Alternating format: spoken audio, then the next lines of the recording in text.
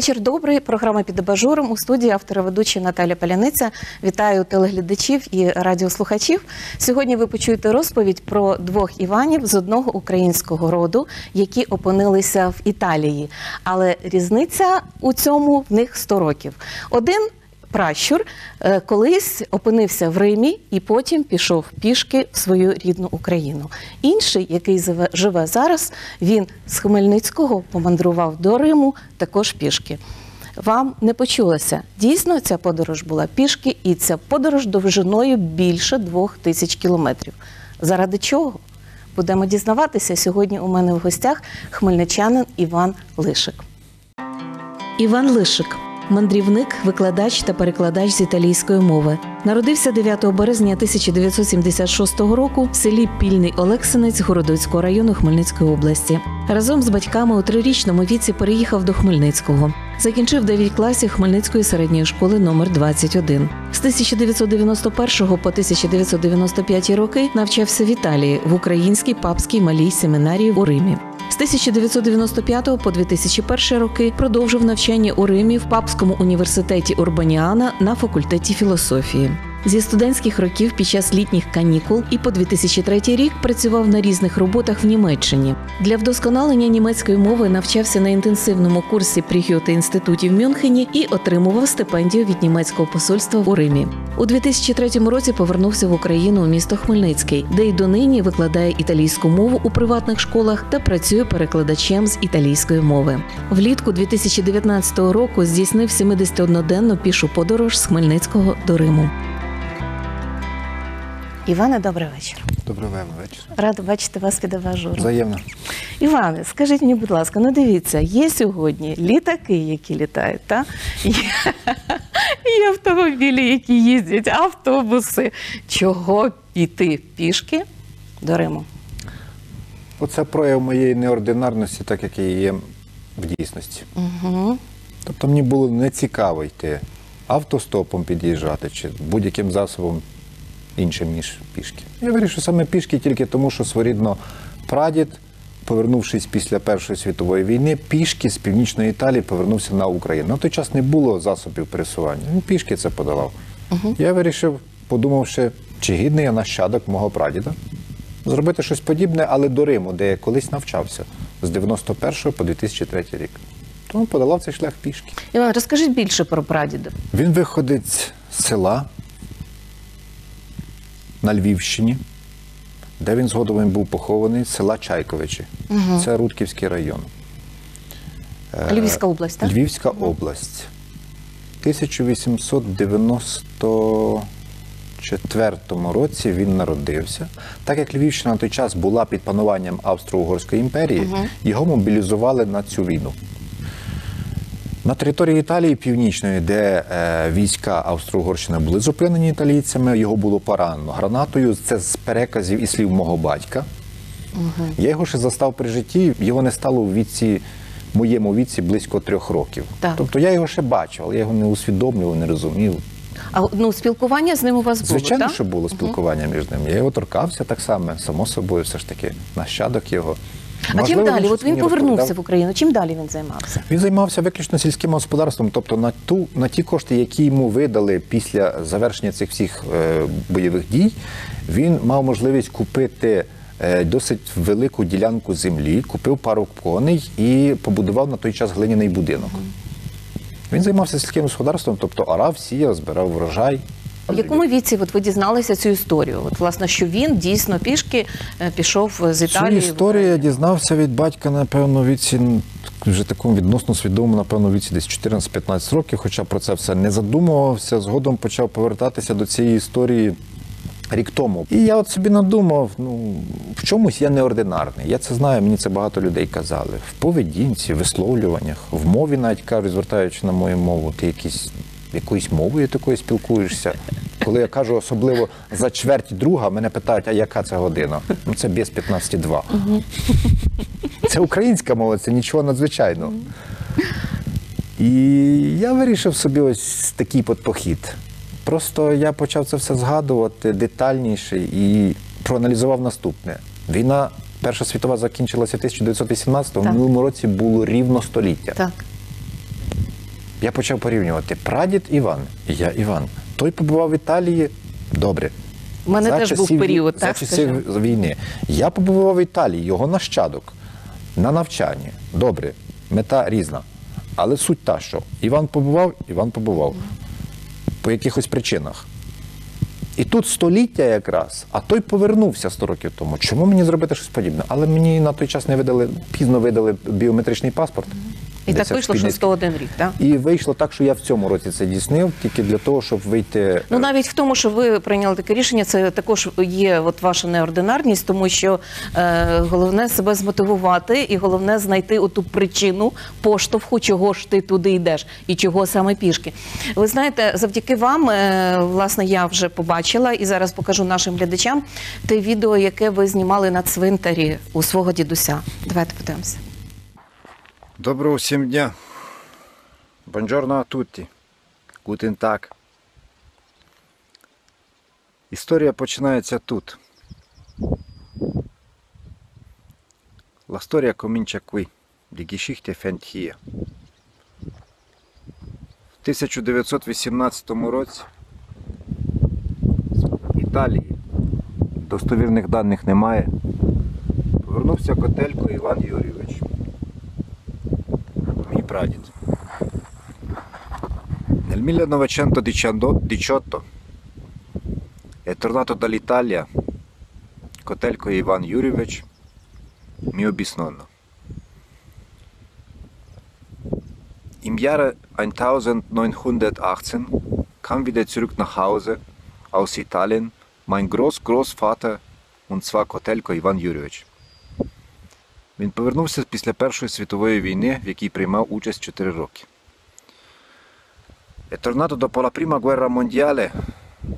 Quale fa- ha fatto parte per 4 anni. Der nahm teil im Krieg, im Ersten Weltkrieg, vier Jahre lang. 101 рік по тому його нащадок теж Іван власною персоною. Вирішив зробити щось подібне. Тільки пішки на Рим. Не повертатися звідти, але туди піти. E f- dopo, e cioè suo nipote, Ivan, eccomi, ha deciso di fare più o meno lo stesso percorso, però fino a Roma. Ein hundert Jahre später, sein Neffe, und zwar Ivan, bin ich, hat entschieden, nach Rom zu, zu fahren, aber zu Fuß, laufen. І це тільки одна частина, перша частина мого рішення моєї мандрівки. Інша це особиста, яку я повідомлю. Сьогодні у мене в гостях Іван Лишик, мандрівник, викладач, перекладач з італійської мови. Зараз ми подивилися відео е, на цвинтарі біля могили свого прадідуся. І е, ось е, одна із причин, Іване, так, яку е, яка мотивувала вас до подорожі пішки в Рим.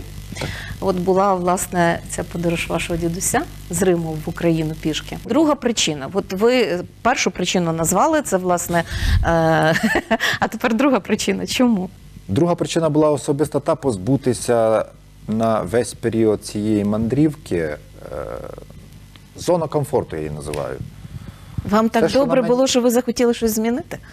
Не те, що мені було дуже добре. Я його хотів позбавитися, просто щоб себе перевірити в тих умовах. Раз. Хоч в мене ніколи не було військової підготовки. Я ніколи не займався професійно спортом.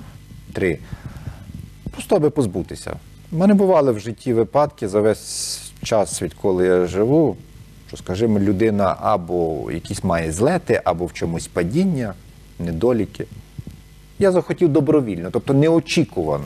Но коли людина переходить до якогось, можливо, падіння, неважливо від сфери фінансової, духовної, а тут самого себе запропонувати, своєрідно якби, підготувати себе можливо, наперед. Ну от ви почали говорити про те, що підготовки як такої у вас не було. Потрібно дійсно було підготуватися і фізично, і морально, і духовно так само. так? Так, духовно. так. От. Яким чином відбувалася ця підготовка? У першу чергу я вирішив підготуватися духовно, скажімо, психічно. Я собі відразу проаналізував наперед маршрут, що це довго раз. Я так само його планував зробити за тих 68 чи скільки там 70 днів плюс-мінус. Е, Я знав, що я сам собі вибрав цей шлях. Я вибрав його, ускладнивши самостійно. Яким чином Якось в інтернеті я на, знайшов інформацію про інших двох українців, які ходили в походи подібним шляхом е, в Іспанію. Я дізнався з засобів е, інформації, що вони ходили пішки теж, йшли приблизно 25 кілометрів в день. Я вирішив собі ускладнити і йшов в середньому, я порахував 34. Вони йшли з рюкзаками 15-20 кілограмів. Мій на початку важив 40, лише згодом на пів, після півдороги 20, десь приблизно 22. Мгм, Після того, які вже закінчились, так? так? Тушонки з України. Ну, де я докуповував їх. Ми на зараз ще ваші Італії. тушонки побачимо. Залишайтеся з нами, ви побачите, що і тушонки Івана також. Е, Вони ночували так само десь в готелях або, можливо, в притулках, які їм пропонували при церквах. У вас намет? У мене за 71 дня 67 Поле, ліс? проведено в лісах, полях, горах. Мився я в річці, в ставку. 71 день ви були в В загальному. так? Мгм. А 66 ночів ночували Виключно власне в лісах, наметах. ну, в, скажімо, в безлюдних місцях. І так само, як і засоби гігієни, це якась річка, якесь озеро. Гірські, е, холоднюча вода, е, річки в Європі, допустимо, чи в Альпах, чи в Карпати, в Польщі, де я переходив, Татри, в е, Словаччині теж гірські річки є, там чистесенька вода. А Паніно в Італії. Вода холоднюча, але жодного разу не захворів. Але ж ви обрали пору року літо. Це було так, літо з переходом на осінь. Так? Ця мандрівка у вас була. так. І там, напевно, погодні умови були різні. Різні, абсолютно. Це шість країн. Польща, Словаччина, Австрія, і там Альпи переходив. Згодом частинка Угорщина була захоплена, Словенія та Італія вздовж Адріатичного моря. І усе це пішки з України в Рим. У мене сьогодні в гостях під абажуром Іван Лишик, він мандрівник. І от пішки в Рим ходив. А вчинок його прадідуся його надихнув. І ми зараз е, поговоримо про те, що напевно вже давно побачили глядачі. От те, що у нас зараз присутні в студії, це деякі ваші речі, з якими ви пішли. Давайте ми е, почнемо трошечки розповідати. Ну, насамперед, е, будь-який мандрівник, та, він думає про те, в чому бути. е, Взутися, та ну скільки пар взуття ви змінили протягом своєї подорожі, і що це було за взуття? Тому що дуже важливо те, в чому ти взутий, тому що треба йти легко, та і треба йти захищеним. У чому йшли? Саме так. Отже, на початку без обману, я за мої слова відповідаю, я йшов у військових кросовках. Якщо ж починалася злива, я взував ось це. На зливу, На зливу, тому що кросовки промокали. А сандалі? а намокнуть, промокли і одразу висохли. Вони швидко сохнуть. Що за дірка? Дірка утворилася приблизно за півтора-два тижні до завершення походу. Тертя, в першу чергу, йдучи на зустріч автомобілям, саме було тертя, бо дорога покат. Було тертя, особливо на ліву ногу. Ця дірка протерлася десь 25 копійок, 5 копійок, можливо, діаметром. І ви так ішли далі? Я На так ішов, воно мене постійно кололо через цю дірку в п'яти, розрізаючи їх трохи до крові, я підкладав туди поролон твердий. А чому Він не купили інше? Щось не змінили? А Чи я це вирішив просто от. Оте, оте комфорт той, Чому да? я вийшов, так і дійти, позбувшись зони комфорту. Угу. Допустимо, в мене тільки це. Колись кажуть, по селах була пара взуття, пара чобіт на всю сім'ю. Хто швидше встав, то і взув і пішов. Давайте ми е, подивимося карту. Я так зрозуміла, що це карта з атласу автомобільних доріг. Це сторінки вирвані з атласу автомобільних доріг. Це по ним ви орієнтувалися. А йшли ви так само по автомобільним дорогам, чи як ви йшли? По другорядних. Ага. По а, автодору йти заборонено, і це може навіть загрожувати штрафом, адміністративною відповідальністю, тому другорядними дорогами рухатись можна. Тут сторінки, де Польща. Ну, до Шигині мені не потрібно було, тому я не брав ту е, сторінку. Польща, далі Словаччина, Австрія, Угорщина, Словенія. Вся Італія. Тобто інтернетом і навігатором ви також не користувалися? У мене телефон при собі, смартфон був п'ятий. Я ним не користувався. У мене була протягом е, всієї подорожі італійська картка. Я міг користуватися і навігацією. Оце найбільш пошкоджене. Найбільше сторінка пошкоджена тільки з тої причини, що тут, як ви бачите, море, вода, це Адріатика. Отут, до речі, точка Пезеро обведено, а тут вище Рімені. Я ночував в Рімені раз, тут кілометрів 42, і тут є Пезеро. Згодом точок немає аж до Фальконара. А ви, крапочком відмічали ті місця, де ви зупинялися? Так, нічліг. І Якщо б я би засів за комп'ютер і просто детально проклав весь маршрут, ну, тут, напевно, набедеться кілометрів 70, може Ого, 74. це в один день ви стільки пройшли? Це в мене протягом всього походу було тричі натхнення. Одного разу приблизно кілометрів 64 за день, а не 40-45. Ще одного дня трохи більше, я розвивав до 70. І це останній маршрут, саме такий тривалий, приблизно десь кілометрів 70-74 точно буде. Це з 8 ранку Ну, одного багато. дня до 4 ранку наступного дня. Нічого собі. Так. Це ви психанули. Психанули. Це... До речі, я злість буває використовую тільки для користі. Ми давайте зараз подивимося, бо я думаю так, що ну хто нас слухає, хто нас дивиться, думає, ну добре, оце він, оце він використовував, зрозуміло. А що ж він їв? Як же він харчувався? Бо це ж людина має набиратися сил, як же ж вона далі буде рухатися? Е, у нас також завдяки Івану є таке невеличке відео. Він е, збирає свій рюкзак і показує, що власне він взяв з їжі. Дивимося. Привіт усім. Я поголився. Хочу дещо показати, бо багатьох, напевно, зацікавить. Те, що я з собою маю. Сім свиних тушонок, сім яловичих, сім курячих. Це такі консерви, які можна їсти навіть холодними. Горох з м'ясом, квасоля з м'ясом. Таке. Ці дві пляшки, це я вже їх поміняв. Це набираю води, вони мені влазять якраз сюди в рюкзачок в кишеньку. Зручно, компактно. Що ще? Маленька моя плиточка-виручалочка. До неї ось такий балончик, їх 5 штук. Котелочок військовий на літр 200, все практично. Тут варити, тут можна чай, каву робити в ньому. Це баночка з-під вітамінки С. В одному є приправа для супів, в іншому є сіль і трохи перцю. Цибуля, гриби висушені з Дністра. Хлібці мені передали. Десь може з кілограм гречки, кілограм рису, там є макарони трохи, там кілька морквин. Оце що взяв практичне, колись мій друг привіз Богдан з Італії. Пробнички олії оливкової одноразові. Якраз на один раз, допустимо, десь по дорозі купити салату.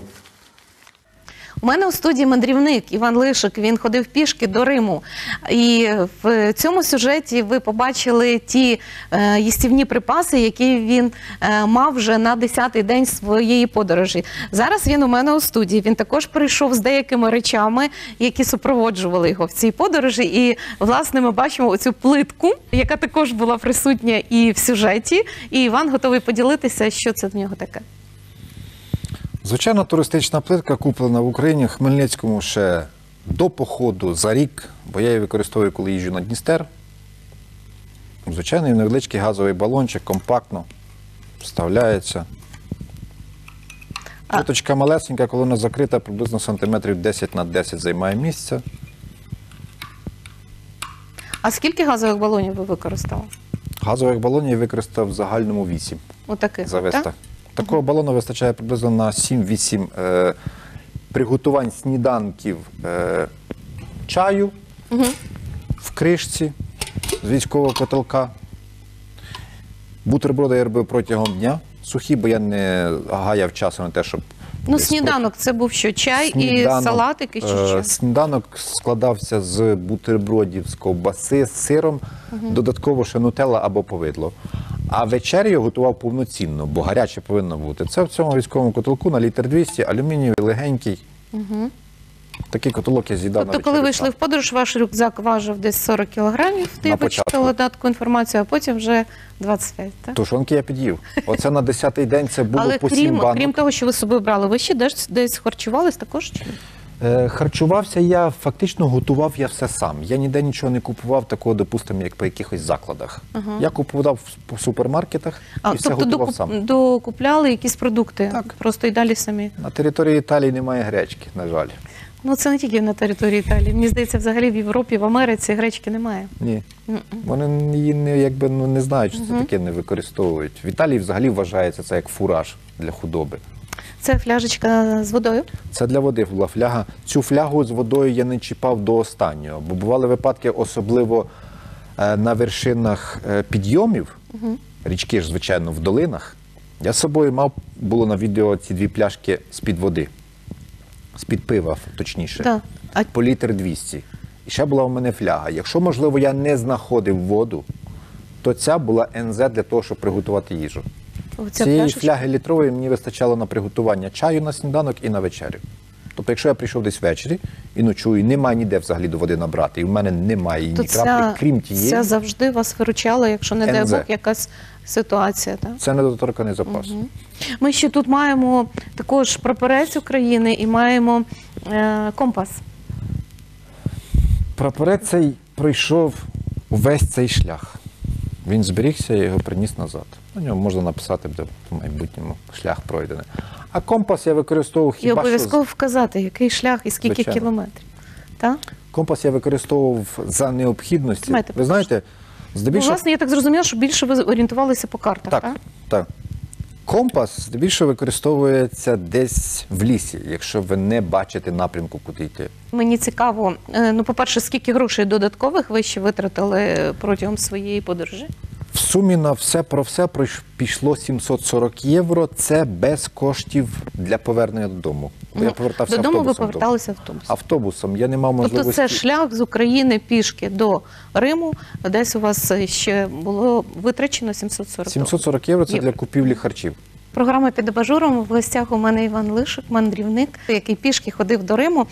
Мене знаєте, ще що цікавить? І в анонсі прозвучало, і декілька разів протягом е, нашої розмови ви згадували цей період, період вашого навчання і. е, Що ви жили власне в Італії, та і е, що зацікавило мене в даному випадку, що ви навчалися саме і в духовній семінарії, та і коледж це був на початках. А, а чому не пішли в священнослужителі? Хоча, чесно кажучи, от зараз з вами так собі розмовляючи, я не уявляю вас в цій ролі. Але чому далі не, не був продовжений цей шлях? Адже це скільки років? Вважаєте, з 91 по 2003 було віддано саме цій справі 12 навчання? років. Так.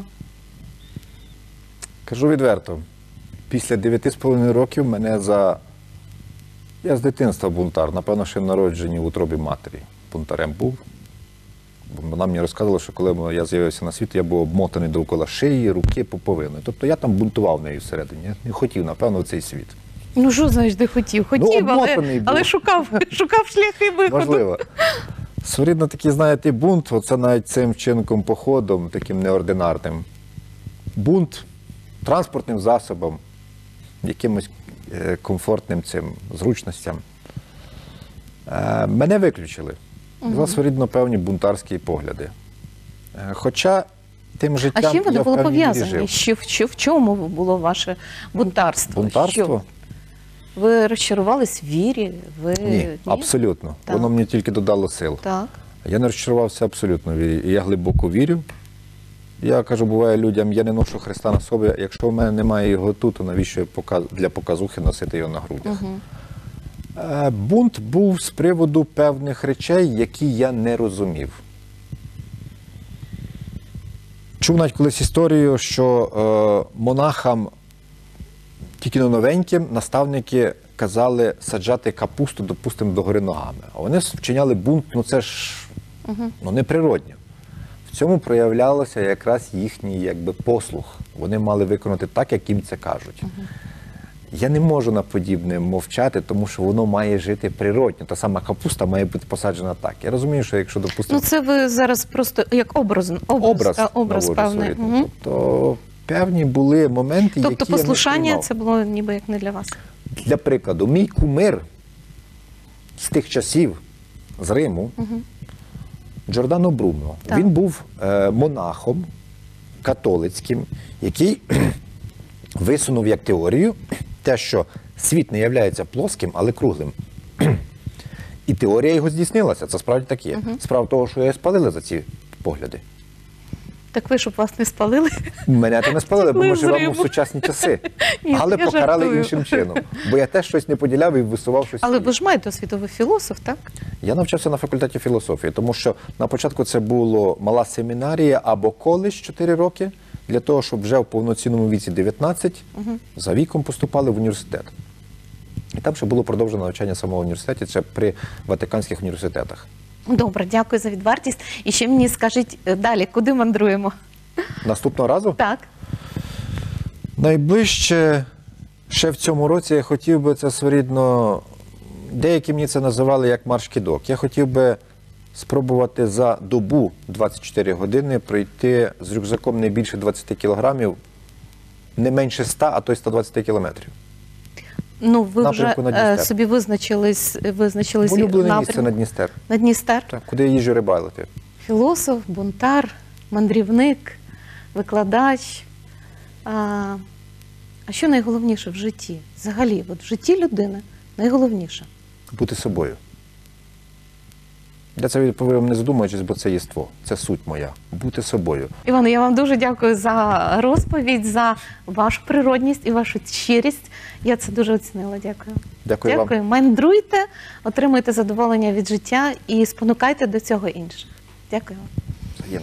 Це була програма під обажуром. З вами була Наталя Поляниця. Ми почуємось, побачимось обов'язково за тиждень. До побачення.